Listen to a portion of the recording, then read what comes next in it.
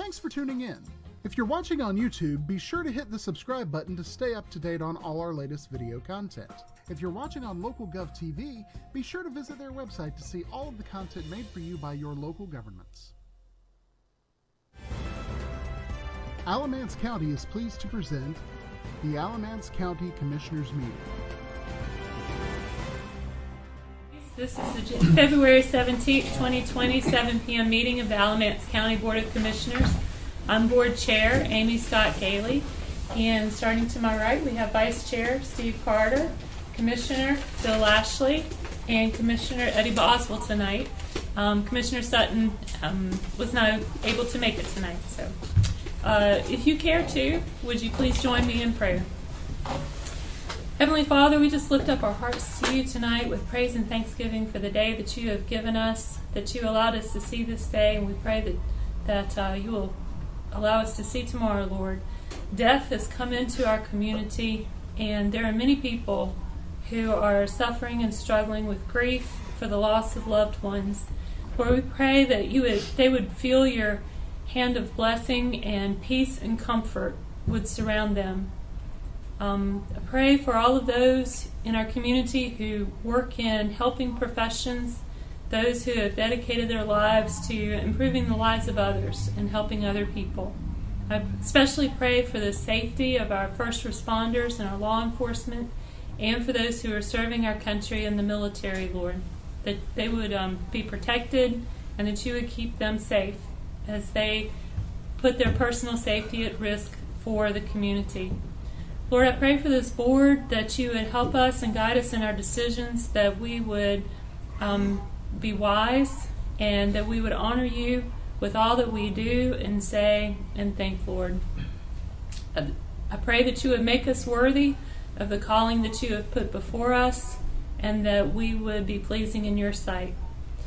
In our Lord's name we pray. Amen. Amen. Would you please stand and join me in the Pledge of Allegiance?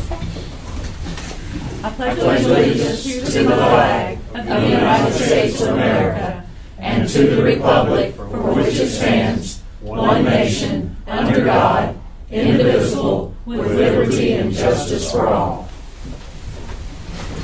The first item on our agenda is a time for public speakers who wish to be heard on matters which are related to agenda items. Um, I do not have the speaker book. We don't have anybody signed up for any public speaker. All right. So, That's a rare thing. so therefore, um, I presume we don't have any commissioner responses.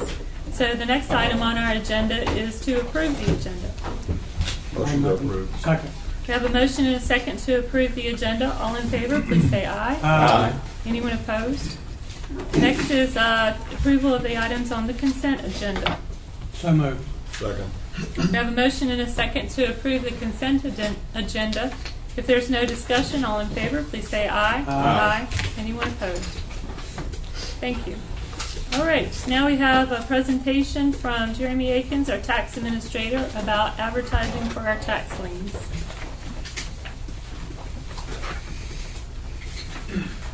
Jeremy, how are you doing? Doing well, and you? Good, doing well. You have Thank that you. department really looking sharp down there for, for uh, Valentine's. Why, thank you, thank you. Well, actually, uh, Cindy down in collections, that's one of her passions, is every season to put up new decorations. And uh, we think it presents a, a good appearance to our citizens as they come in, but also it kind of helps to keep morale up, keep people happy. Right. Good idea. Absolutely.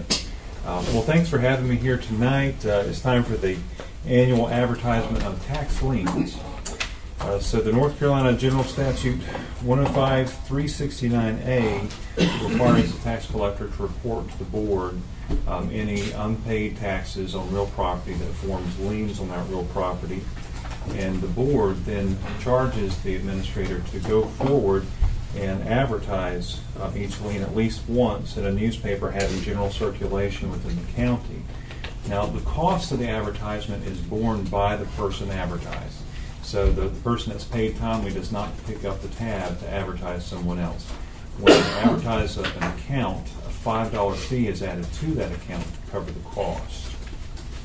Um, As of January thirty-first, the total amount of liens against real property for current year taxes was four million six hundred forty-four thousand nine hundred one dollars and sixteen cents. And I thought it was interesting to look at uh, where it stands today.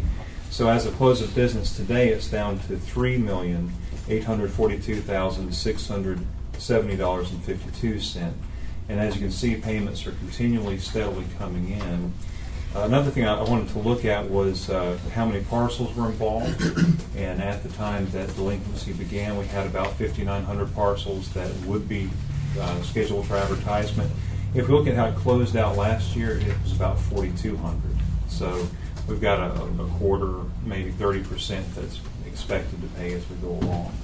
Now, if somebody pays in the month of February, uh, we guarantee that we will not advertise them as we get into March, uh, there becomes a point we're going to have to stop, run the file, and send it off. So we encourage everyone possible, to pay by the end of February, make sure, because we'd hate for someone to come in at the last minute and say, we just sent it to the newspaper.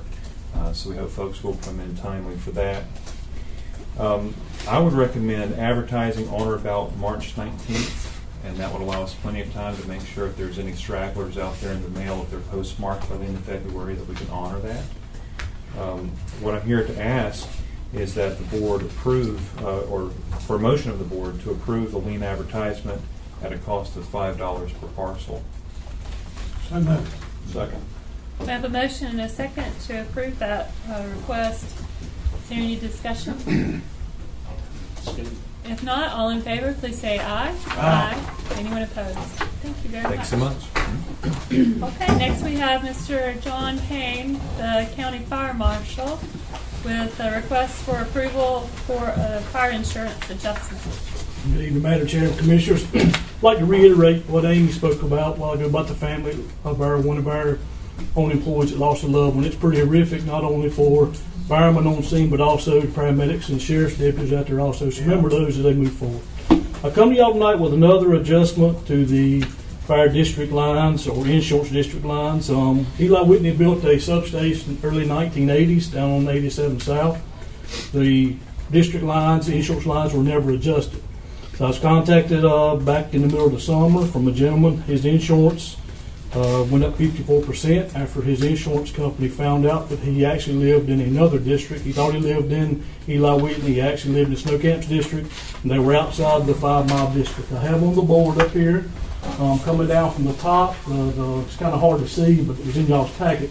Coming down from the top, Eli Whitney can cover both sides of this road, Thompson Mill Road up there, and also coming off the bottom.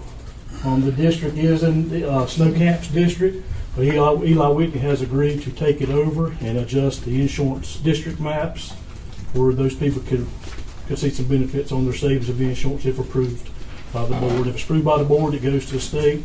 I've talked to Vernon Ward again at the state. He said should be no problem. Probably 60 to 90 days, they could see some benefits from the insurance savings.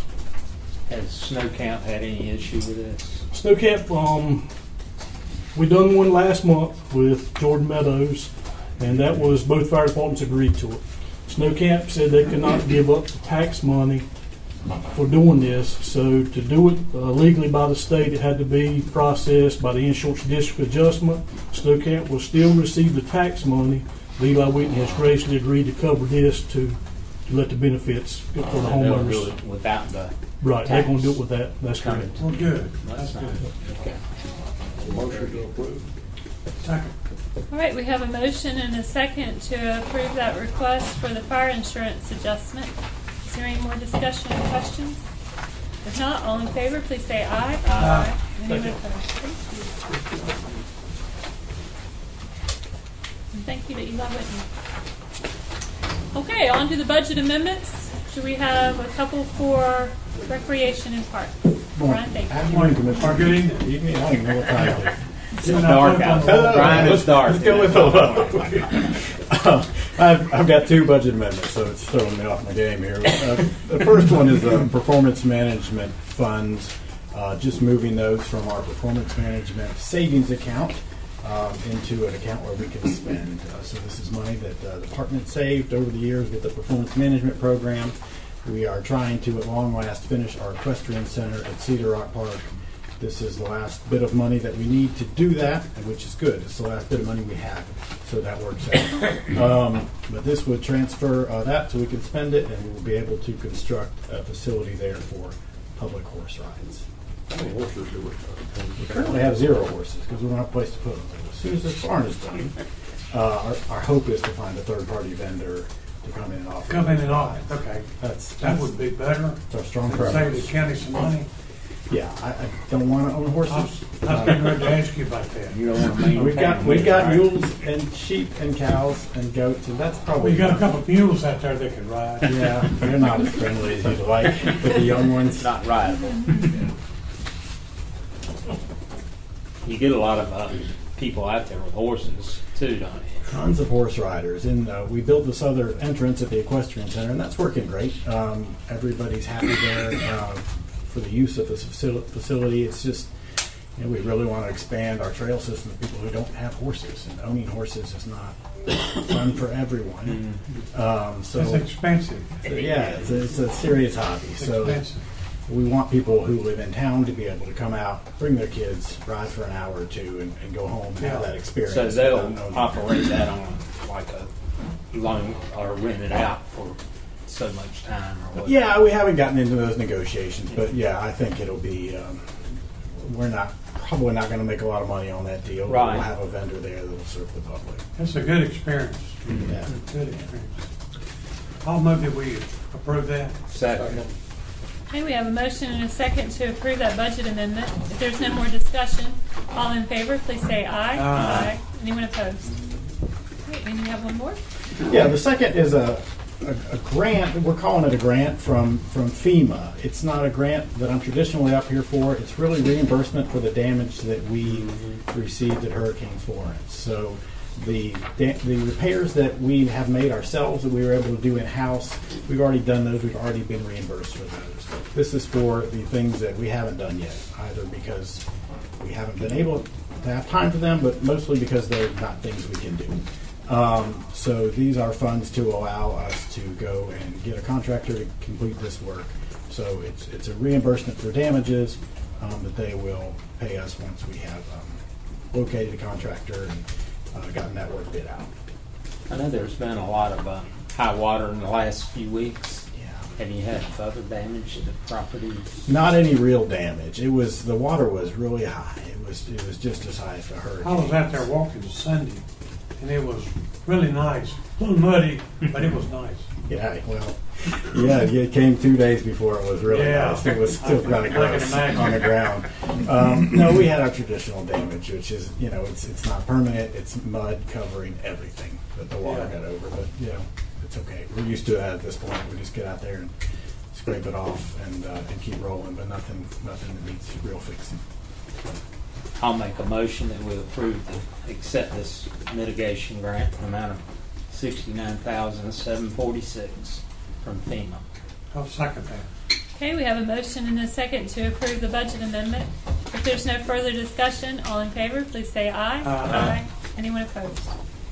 Great, and we don't have any public speakers on non-agenda items, and so there's no responses. So, uh, Mr. Hagood, do you have a county manager's report? I've got it. I've got, do we get this paper? Um, the comments, are- Okay, okay, the general okay. comments I'll are bet Brian. it. It, Okay. Uh, I do have two items for the board to uh, consider and think about.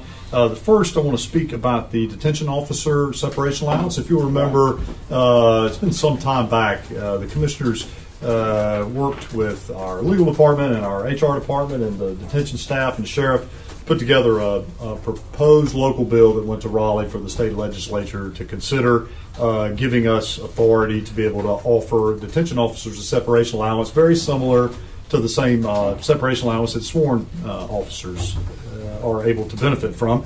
Well, that effort has stalled. We haven't uh, been able to get a lot of traction in Raleigh. I think it was uh, sent to a committee and has been in committee ever since. So, our our office and the HR department and the county attorney's office have been working together to try to find another way to to offer this uh, option for detention officers, and I believe that we have found a way to do that. Uh, we would uh, we're looking at calling the new uh, offering for detention officers the Alamance County Detention Officer Social Security Bridge Allowance. It would be very similar to the original plan that we put together and sent to Raleigh.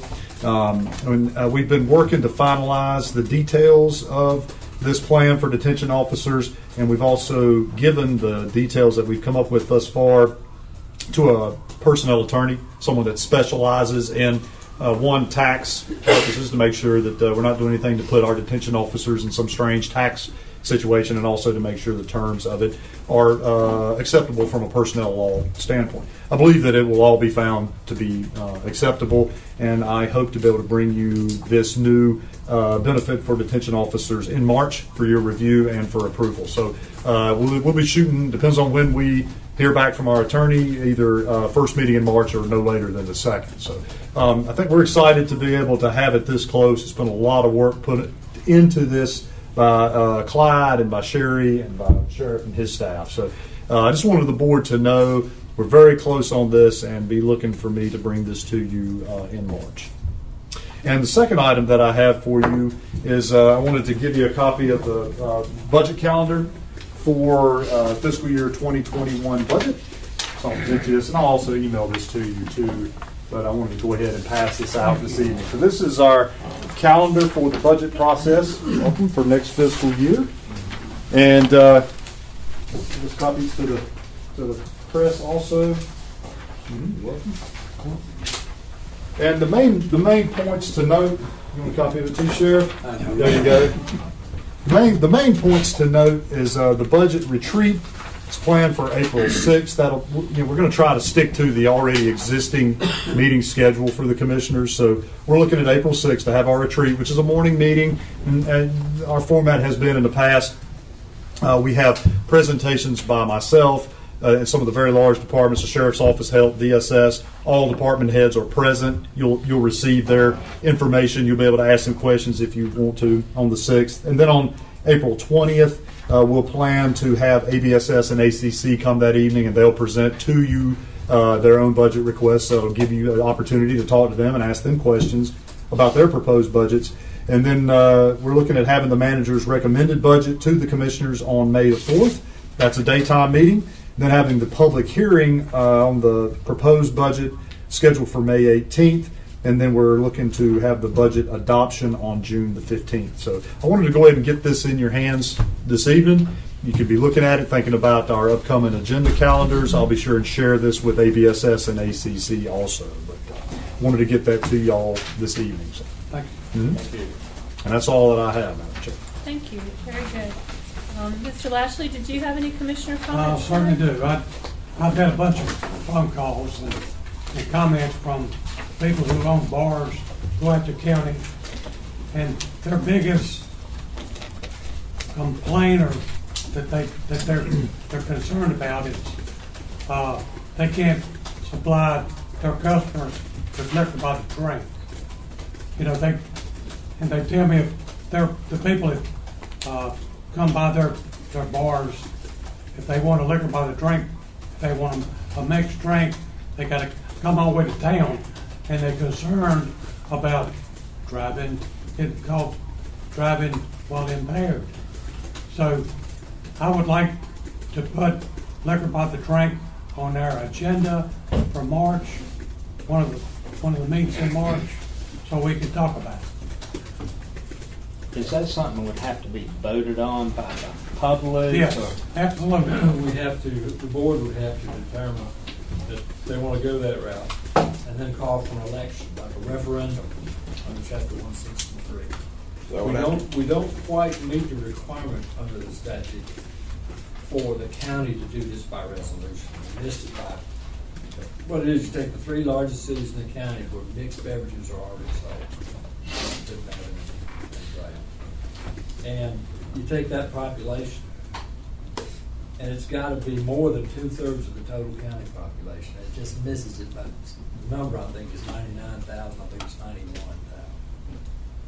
So we, in order to do it, We have to uh, have. here, we, Yes, so we gotta put it on the ballot. You have to vote on that, and you also have to vote, uh, on that same referendum that you establish a county ABC store.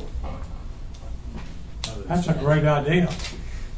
Well, you've got to have a way to ship the alcohol to the people that live in the county, Yeah, unless you can work up a deal with Burlington or Graham or, I'm sure they'd be more than happy to. well, they have to share their profits with you, there, so. Yeah. uh, So those are all the things we can discuss. Okay.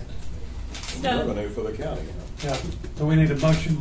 um, I don't think so. Just Mr. Albright, could you prepare a presentation for, uh, maybe the next meeting where we can have, uh, maybe language, so we would have to vote to approve the language for the ballot? The, Is that the right? form of the ballot is set forth in the statute. The language, the specific language that has to be on there. And so, Similar to the sales tax that we're Right. voting on right now. That's correct. so the board would vote to approve it being a, a referendum to be on the November ballot. Yes. And at the same time. we don't really have anything else to do. Yeah, at the same time, you have to approve the establishment of a county ABC store. at the same time. So we have to determine where that would be located at No, not time? that time, just as. Or did you say we could work it out with, with the, uh, You can. City. City. If if it all passes, you can Okay. work up a deal with Burlington or whoever's got the. Yeah. I think it's Burlington's got it. that would be the way to go, It'd save money. 'Cause all alcohol is distributed from an Yeah. ABC store in, in this state. The laws are very complex. Who Yeah. operates the ABC stores in the county now? There's, are they just in the cities? Is that, Just so cities. Municipalities. that revenue goes to the cities and this would be a in the county That's right. ABC store? Correct. So it would have to be outside of the city limits of Mebane, Graham, and Yeah, That's correct. everything outside the cities. And And Elon outside, Elon also. Can we do more than one ABC store? Or does it have to be only one? You can put one in the north and one in the south. That's what I'm wondering. Well, I thought we had an ABC store in, uh, Northern Alamance. Do we not have one up there? I'm We afraid. got Burlington and Graham. I think what I was Burlington thinking. on Not one South sanctioned Church. by the state government. No, we can't put them up. No. Not that I know anybody that does that. Yeah. I'm sure. Sheriff, you know anybody in Northern County got one already operating? No, sir. Some coming out of some barns someplace. Like, what was the name of the sisters on the Waltons who uh, had Oh, their special recipe? Somebody here knows the name of those ladies. The sheriff knows. Long time ago. What's her He knows them little ladies. All right. Well, are there any other commissioner comments tonight? Well, it is seven twenty-two, ladies and See, gentlemen. Tim missed out on it tonight, didn't he? Quick work. Record-breaking time. Awesome. Okay, so we'll be adjourned then. Thank you.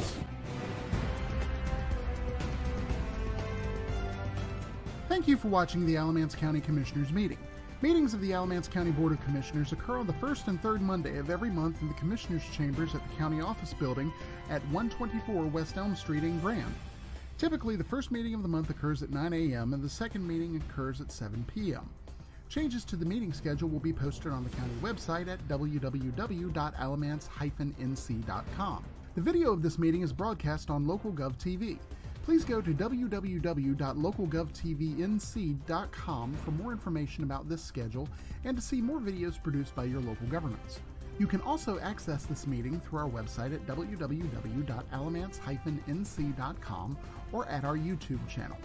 Technical questions regarding this meeting's broadcast or production may be sent to our county webmaster at webmaster at alamance-nc.com. This address is for technical questions only.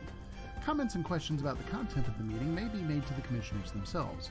You can find their contact information at the Alamance County website at www.alamance-nc.com.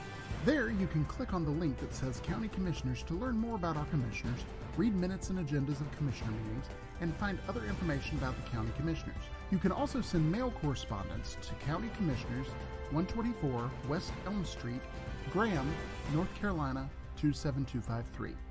Again, thank you for tuning in to the Alamance County Commissioners meeting.